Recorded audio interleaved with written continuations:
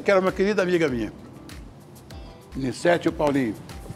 Duas pessoas maravilhosas. Maravilhosa. E eu vou dizer uma coisa, Marcos.